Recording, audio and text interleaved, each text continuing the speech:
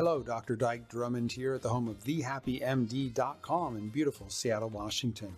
Welcome to the latest episode of the Physicians on Purpose podcast. Tools so you can recognize and prevent your own burnout, stories of burnout put to its highest and best use, and wellness leadership strategies. Everything you need to be a physician on purpose.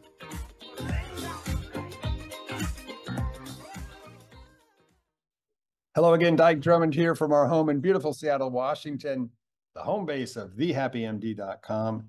And this is the latest Physicians on Purpose podcast. And today you're in for a, a, a real treat because we're going to have a battle of the battle of the opinions about moral injury and burnout and what what they are. Are they the same thing? Are they different things? What's what's language that we can use to understand it? And my guest today is Dr. Jennie Byrne, B Y R N E, Dr. Jennie Byrne, who is a psychiatrist and a neurophysiologist. Follow her on LinkedIn, and she's here because she's writing a book about moral injury. Book number two. What was book number one about, Dr. Byrne? It was called Work Smart Use Your Brain and Behavior to Master the Future of Work, oh which is a long, long title to basically understand virtual hybrid work and how you can optimize it using an understanding of our brain. Okay, cool. So, can you give us like one take home tip, the one thing we might want to learn about how to master our brain in a virtual setting? What would be one of those tips?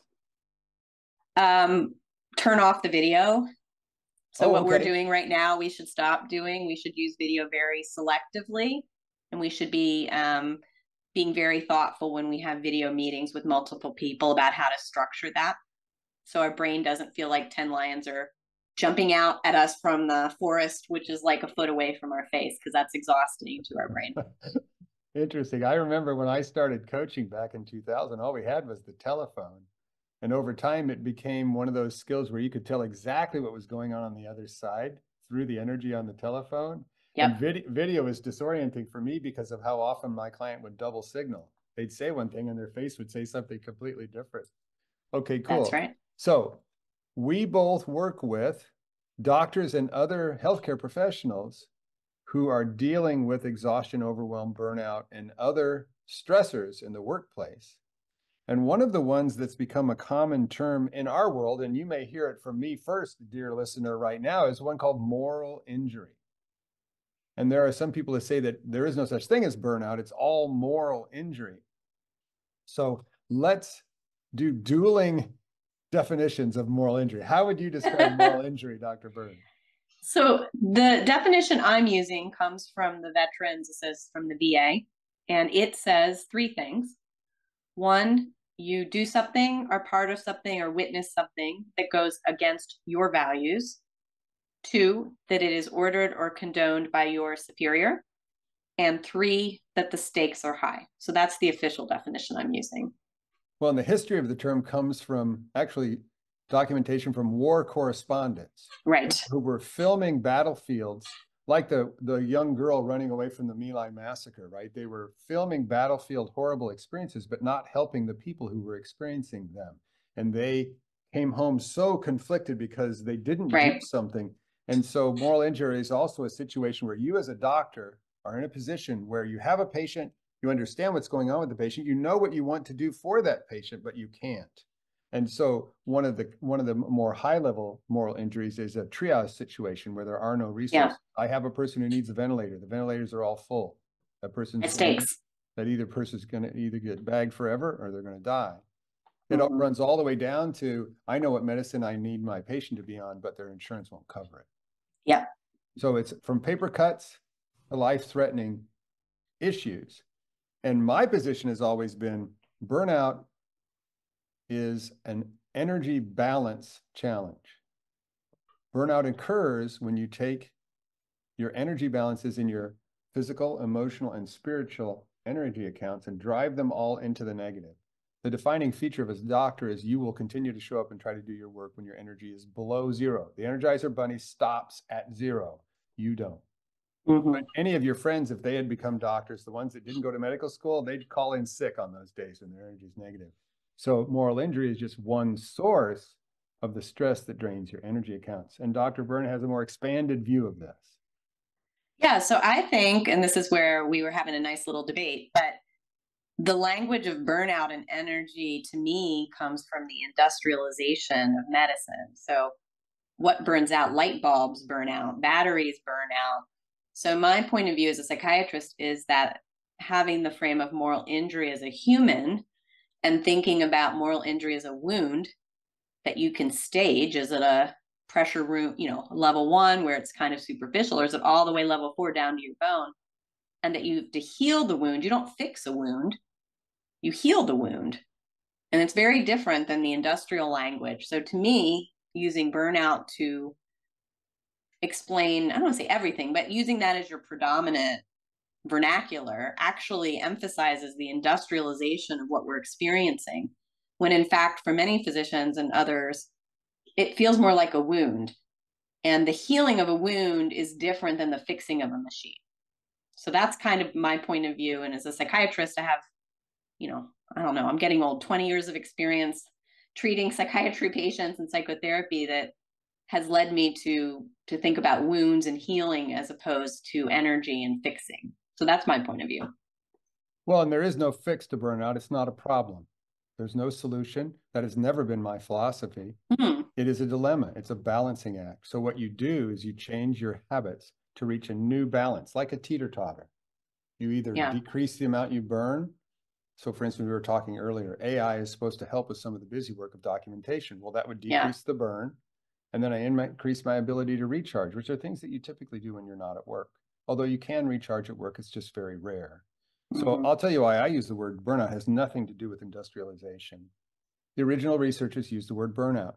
Mm-hmm. There's a culturally accepted definition of burnout yeah, in the way that that's true. And mm-hmm. so I noticed when I was starting to do my coaching practice that gradually the academics were moving away from the term burnout. As a matter of fact, the people at the AMA and others started to use the word joy. And when I say the word joy, I cock my head like a dog that doesn't know what it's looking at because I've never in my life heard a doctor spontaneously use the word hmm. joy ever. And so one time I was at a conference, Christina Maslach was there. Yeah. It was a conference where Tait Shanafelt and all the academics in the AMA and Christine yeah. Sinsky were all there.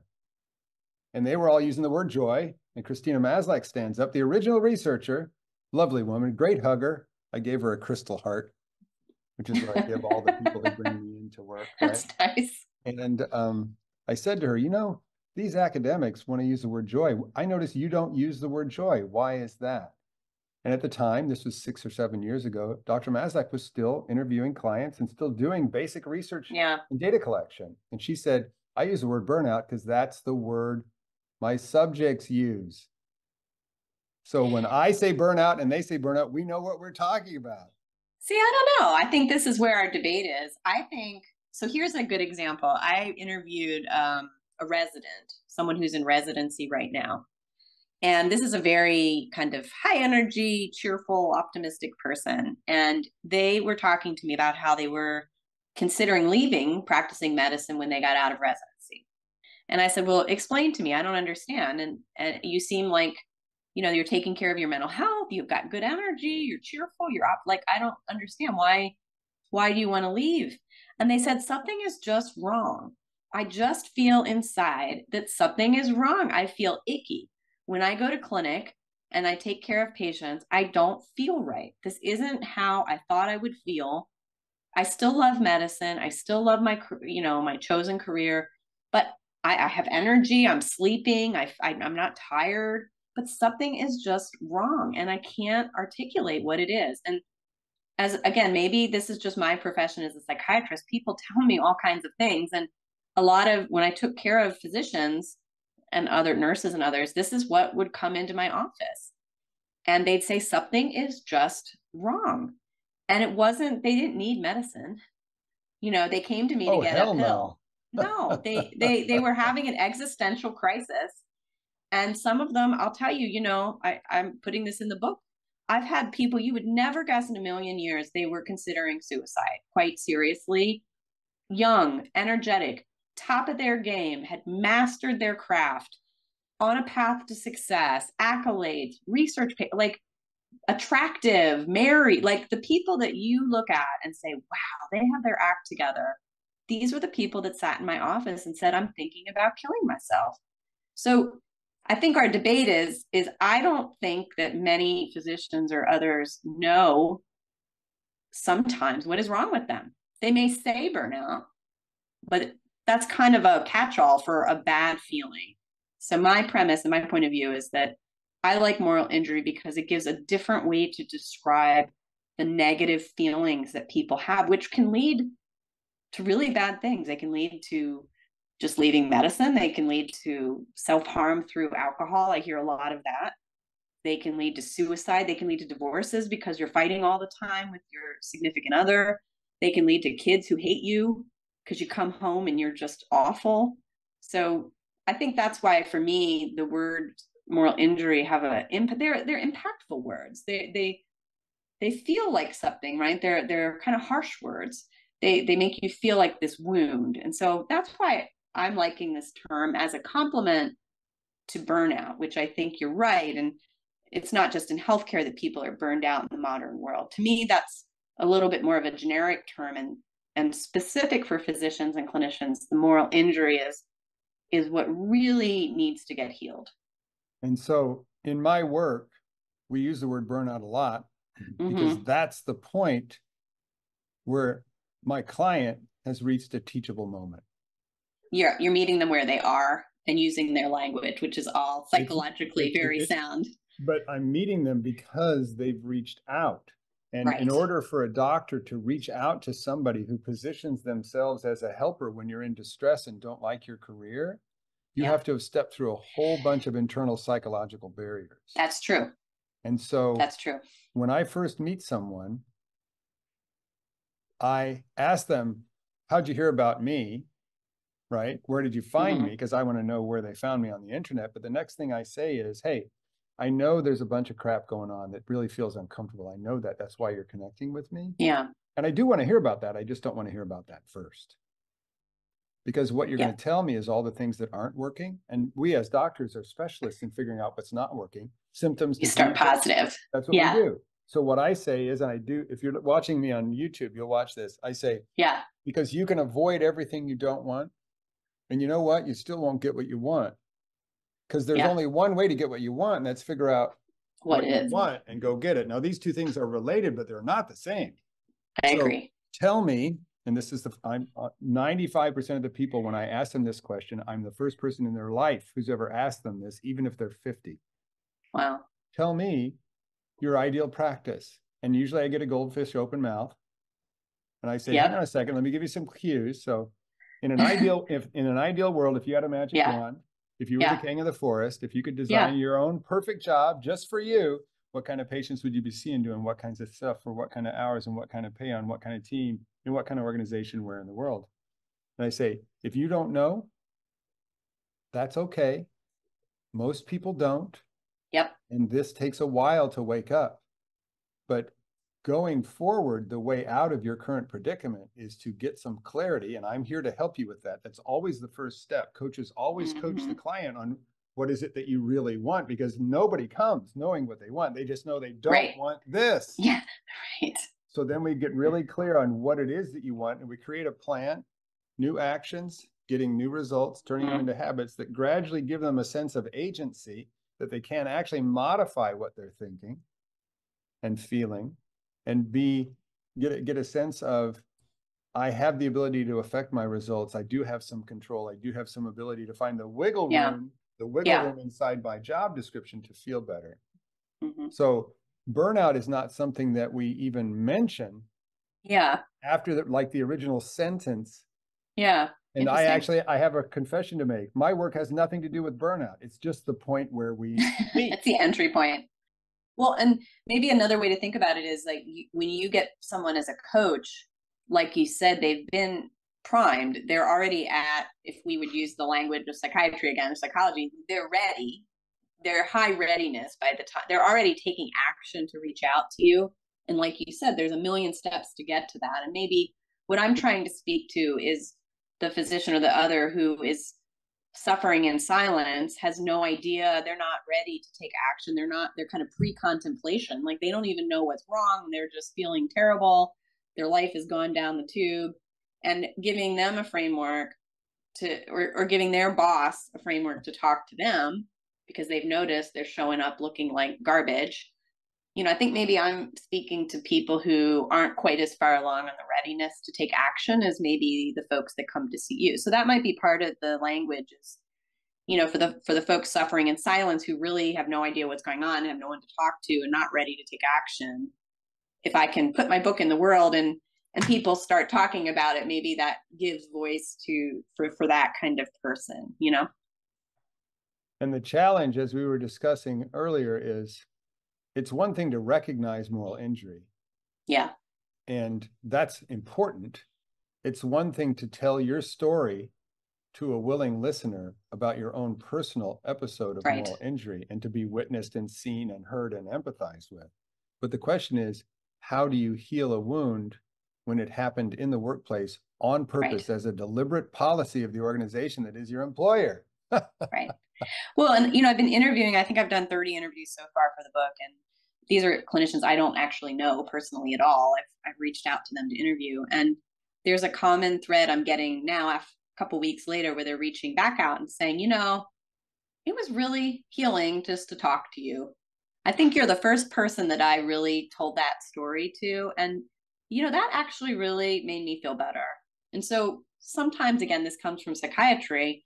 Sometimes just talking about it and telling someone else who, like you said, is empathetic and a kind, active listener, there is healing sometimes just in that part. Now, it's not going to heal a stage four down to the bone injury just to tell your story but there is healing in words and again that's my clinical bias just because that's what i've practiced for decades of medicine and seeing the power of words you know psychiatry we don't have intervention we don't have a ton of interventions we don't have a ton of medicines you know we don't have a ton of science it's a lot of art and a lot of words and and i've seen the power of words i'm a convert i was a basic scientist by training. I didn't believe in talk therapy until I did it myself. And then I was a convert after that.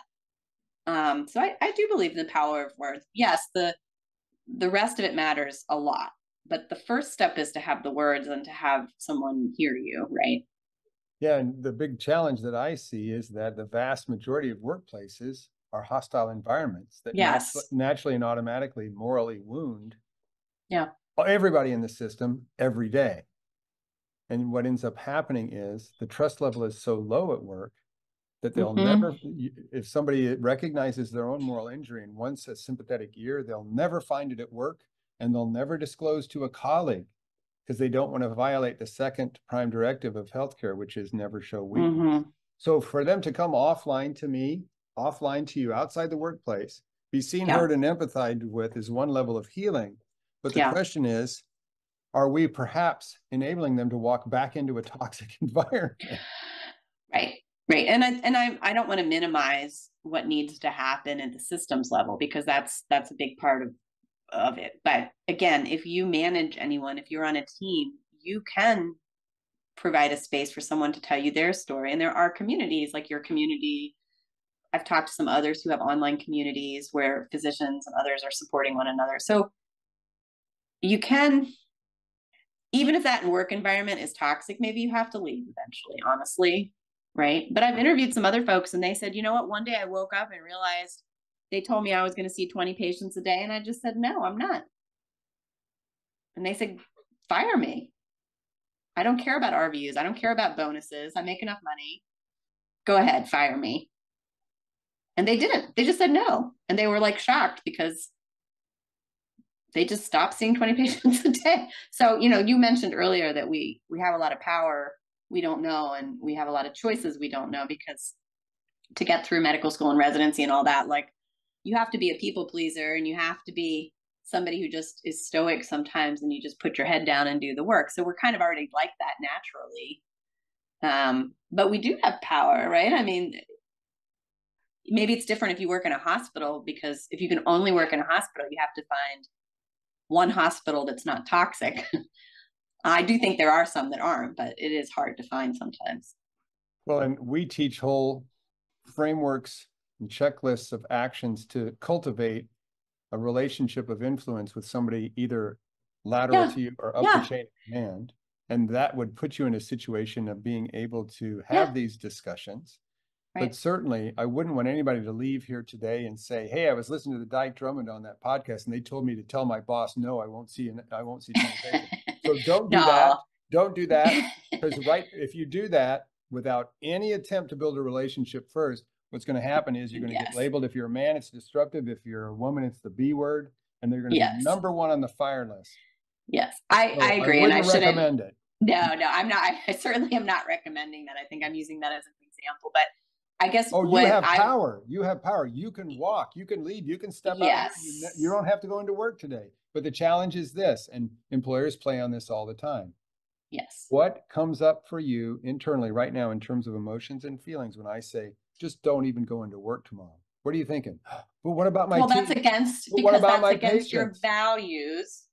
And, right and, and, that's your values and the whole way that organizations organizations can short staff you and shine you on when you're because, three partners down and four MAs down and these they just don't seem to be able to hire them is you know what if you're seeing the same number of patients with two less docs and four less MAs you're making a whole hell of a lot more money so the financial disincentive to staff appropriately is relying on your ethics and morals to feel guilt and shame for not showing up and doing right it. they're playing on your your values but they're making you do something then which goes against your values by right. providing lesser quality of care it's evil and it happens all the time everywhere well i'm so excited that you're doing this work and i met others like you who are providing different kinds of solutions um, because when someone is ready to make a change they need a trusted person or group to reach out to.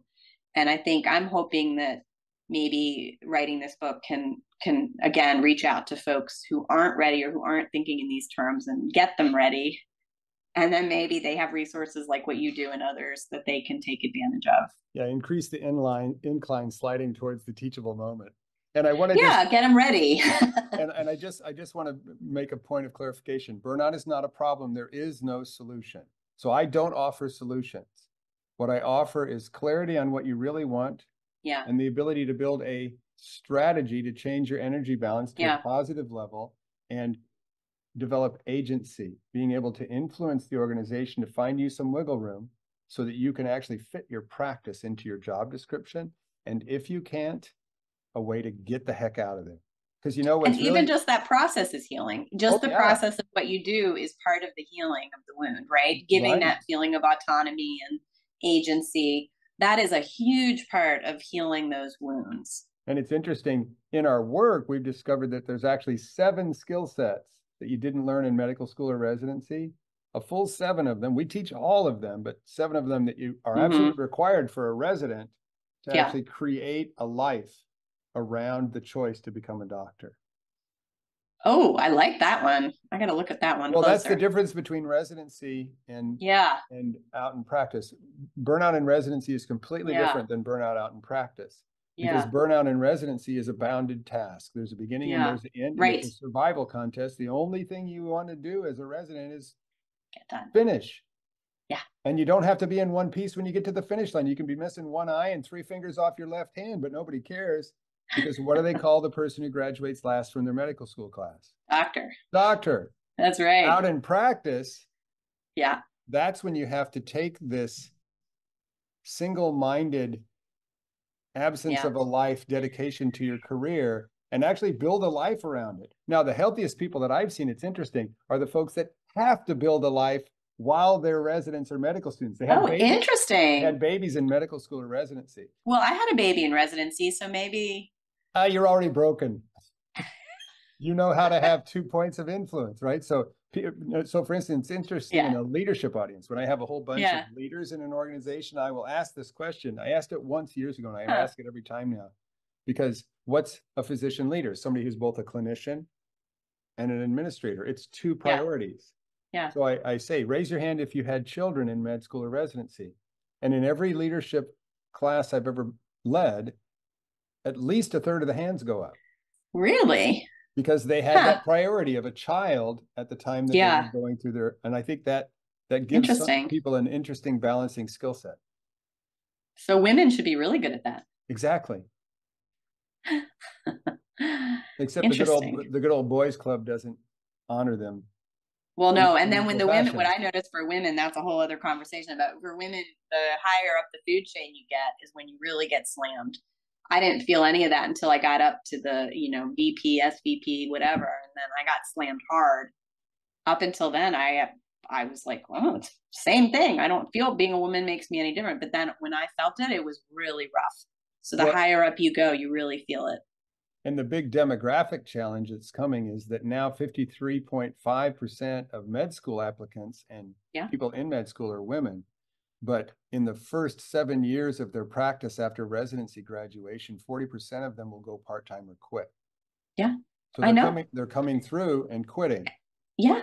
Right at the beginning. That's what I was saying earlier. Like, you know, the residents, they're already ready to quit. I mean, so that's why I'm saying it's not just energy, like young, very energetic residents are ready to quit, right? So there's something going on there. Well, and what I say is that burnout is here to put yeah. you to make you uncomfortable enough that you change what you do to put you on a path with more purpose. I like that. One of the experience experiments that I ask people to engage in is a conversation. So check this out and maybe consider doing it, dear listener. Okay. Okay. Think of someone who's older than you that you look up to as somebody where you look at them, they're a doctor too, right? And you look at them and you say, wow, I hope I'm half as cool as they are when I'm their age. Somebody like that. Yeah. Yeah. buy buy them a cup of coffee and sit down and say, "Hey, tell yeah. me your tell me your burnout story." Interesting. And the cooler you think they are, the more likely they are to say this in response. Yeah. Which one? Interesting. Because burnout marks this.